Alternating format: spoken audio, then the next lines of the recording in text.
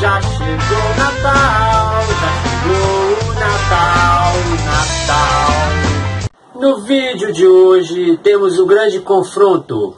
Uva passa versus fruta cristalizada versus tio chato versus prima vadia. Tá no ar mais um Estranheza. E o melhor dia do mês de novembro, com toda certeza, é o dia 26. Alguém achou que eu iria dizer dia 25? Não, o dia 26 é o melhor dia do mês de dezembro. Porque o dia 26 é depois do Natal. É nesse dia que tu pode andar pela sua casa tranquilo, sem esbarrar em ninguém. Galera, eu não estou falando mal do Natal. O Natal tem suas coisas boas. Como, por exemplo, as comidas do Natal. Eu não sei vocês, mas Natal aqui em casa tem sinônimo de uva passa. É uva passa no macarrão, uva passa no feijão, uva passa no arroz, uva passa na farofa, uva passa em tudo. E aí, não satisfeitos com a quantidade de uva passa que se coloca em todas as comidas do Natal, o pessoal resolve inovar e coloca fruta cristalizada em tudo. Fruta cristalizada no pão, fruta cristalizada na torta, fruta cristalizada na rosca recheada de Natal, fruta cristalizada no biscoito de Natal e fruta cristalizada no panetone. E aí vira aquele embate, qual que é o mais chato, qual que é o mais inconveniente. E não adianta reclamar de uva passa. Não adianta, não adianta.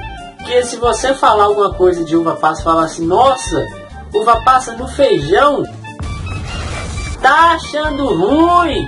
Faz você o jantar, faz você a ceia do Natal. Que é assim, galera. Quem faz o jantar e coloca uva passa, parece que já fica com alarme na mão, assim, esperando. Alguém vai falar mal, alguém vai falar mal, alguém vai falar mal. Alarme tocou, a pessoa já fica assim atenta para poder retrucar quem está reclamando da uva passa. Mas me deixa com raiva. O que mais me deixa com raiva é quando vem visita de fora. Que aquele pessoalzinho me tira e pega o pratinho.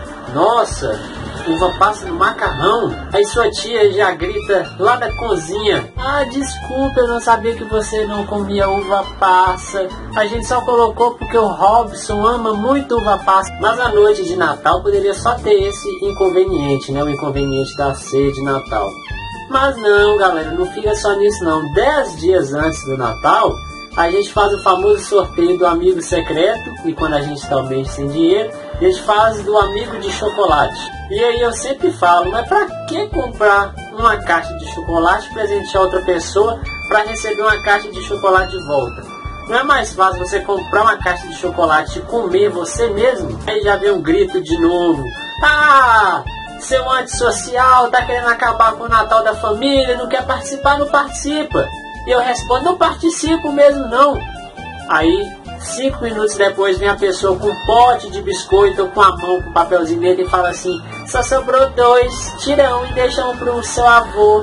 Mata de raiva, porque se você não tirar aquele papelzinho naquela hora, alguém da sua família vai ficar sem ganhar presente. E não é só isso que rola no sorteio, não. Sempre tem aquela pessoa que grita: Ó, oh, o máximo do presente é 20 reais, tá? Pra não apertar pra ninguém. E é a mesma miséria que leva um presente de 50, 80 reais para poder ser exibido.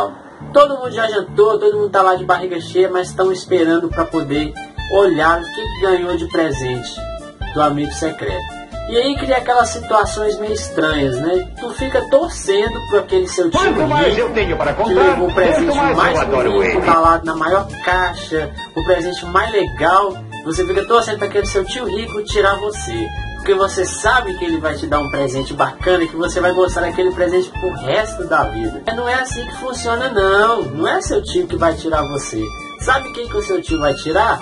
Aquele seu primo chato que já tem 4 Xbox, 7 bicicleta, dirige desde os 10 anos de idade. É este o seu primo que o seu tio vai tirar. E na hora que o seu tio vai mostrar quem que ele ganhou para dar aquele presente, fica aquele suspense, aquela coisa toda só porque o tio é rico. E ele tira uma caixa enorme, todo mundo acha que ele, nossa, vai dar uma guitarra para aquele menino, vai dar um, vai dar, sei lá, um carro dentro, daquele, dentro daquela caixa. E aí ele tira um papelzinho escrito, vale presente de 200 reais para gastar na CIA qualquer dia do mês. E o cara fica feliz, mas justamente aquele seu primo que já tem tudo ganha um presente de maneira desse. E você, quem que tira? A sua mãe, a sua avó, E aí você não ganha um presente super legal não, você ganha o que? Uma cueca, uma meia, uma daquelas camisas cheias de listrinha assim na lateral assim, ó, que custa 10, 15 reais. Uma das piores coisas do amigo secreto que eu tenho certeza que acontece na sua família é quando chega a hora do presente do seu tio gordo. É, seu tio gordo sempre dá problema na noite de amigo secreto. Porque geralmente quem tira ele tem que pensar muito no que vai dar. E aí geralmente acaba dando uma camisa. E aí o cara olha a camisa assim, ele já olha com aquela tristeza, porque sabe que a camisa não vai caber nele. E a pessoa que deu presente ainda grita. Ah, eu comprei o maior número que tinha na loja.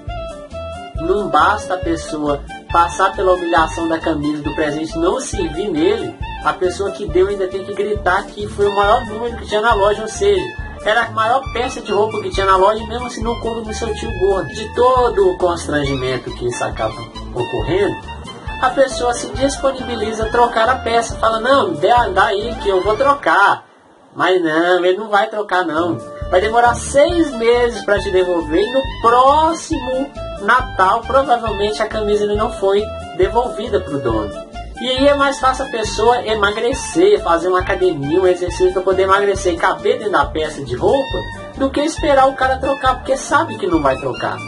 Sem falar que é no dia 26 que você fica sabendo o resultado daquela treta de família que teve entre a noite de dia 24, dia 25, o almoço do dia 25 e o jantar do dia 25. Toda aquela treta que aconteceu, aquilo tudo, aparece tudo no grupo de WhatsApp no dia 26 e você fica sabendo de tudo. Então, galera, este foi o especial de Natal do Estranheza. Deixe nos comentários aí qual é o confronto mais chato que você já viu. Se a uva passa versus a fruta cristalizada, se é o seu tio chato versus a sua prima puta. Então deixe aqui embaixo nos comentários aqui que eu quero saber qual é a situação mais chata do Natal que vocês já viveram.